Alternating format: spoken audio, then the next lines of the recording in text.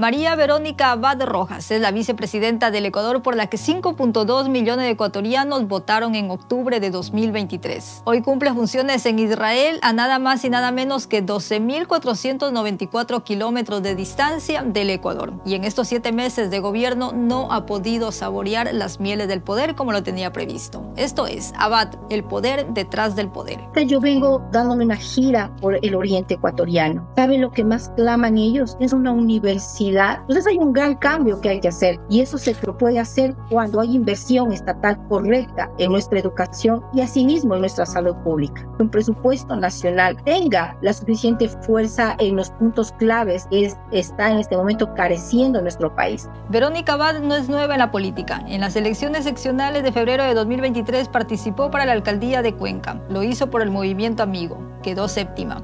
Antes también la vimos con la camiseta de Creo. Durante la campaña presidencial, las declaraciones de Abad generaron debates en redes. Tenemos que quitarle al gobierno de la parte económica, de la parte de educación, de la parte de salud, de la parte de jubilaciones y pensiones. A ver, si yo escojo ser mamá, pues yo voy a tener que trabajar menos porque mi rol de mamá me va a pedir más y me va a exigir más tiempo. ¿Cómo puedo pretender ganar igual que un hombre? El distanciamiento con su compañero de fórmula Daniel Novoa fue visible desde que ganaron. No festejaron juntos y el día de la posesión su celebración fue por separado. Abad lo hizo en el mercado mientras que Novoa fue al Palacio de Gobierno. Su imagen es materia de estudio. Verónica Abad es un personaje político que inició con declaraciones antiderechos. Se mostraba con una imagen totalmente radicalizada hacia la, hacia la derecha, pero una derecha opuesta a los derechos de las minorías, una derecha que está en contra de la lucha femenina y ahora curiosamente invoca los derechos de las mujeres, invoca la victimización de la mujer en la política, lo cual a la gente no le da un buen sabor. Abad de 46 años de edad podría convertirse en la primera mujer presidenta del Ecuador. El gobierno ha dicho que sería nefasto que asuma el poder. Sería nefasto para el país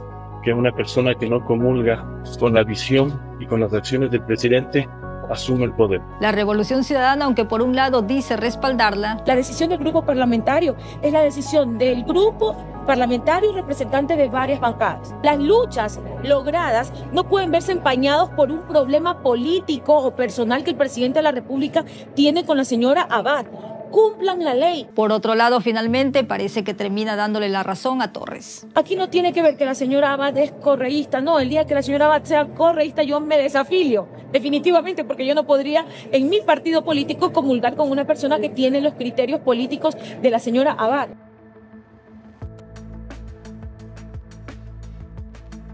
¿Sabe cuál es la función de un vicepresidente en el Ecuador?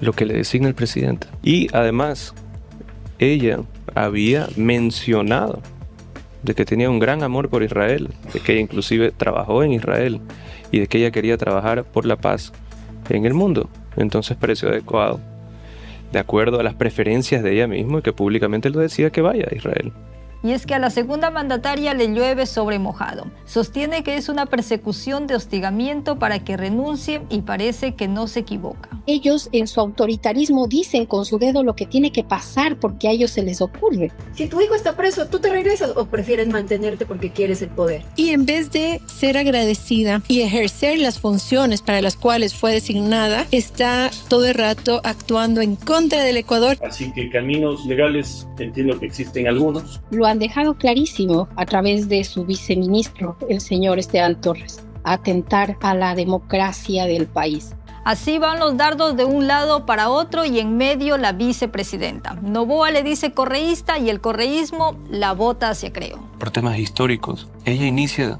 su carrera política en la Revolución Ciudadana también. Y en cuanto a la señora vicepresidenta, mire, esta es la foto de ella. Ella era militante y activista de Creo. Por ahora el Ejecutivo hace consultas al Consejo Nacional Electoral, a la Procuraduría General del Estado, a constitucionalistas y a cuánto aval pueda conseguir para encontrar los mecanismos que le faciliten no encargar la presidencia a Abad, quien pudiera gobernar al menos cinco meses. ¿Será que Daniel teme que Abad vuelva a sus andanzas con Creo? Lo cierto es que constitucionalmente no podría ser relegada de ocupar la vicepresidencia. No hay ninguna norma ni sentencia en la Corte Constitucional, jamás se ha dictado una resolución que diga que no se debe encargar el poder cuando un candidato quiere optar por una reelección. Eso no existe. Aquí estamos hablando de la obligación de encargar el poder para que no se use el poder y los recursos del Estado en campañas electorales. Vamos a esperar los pronunciamientos jurídicos, tampoco se puede infringir la ley. Siendo candidato, si es que su plan sale de forma apropiada, gozará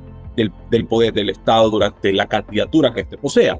Caso contrario, el que la vicepresidenta va de este cargo y seguramente sea otro el escenario. Soy Mercy Castro y somos La Defensa. Defendemos la verdad con periodismo.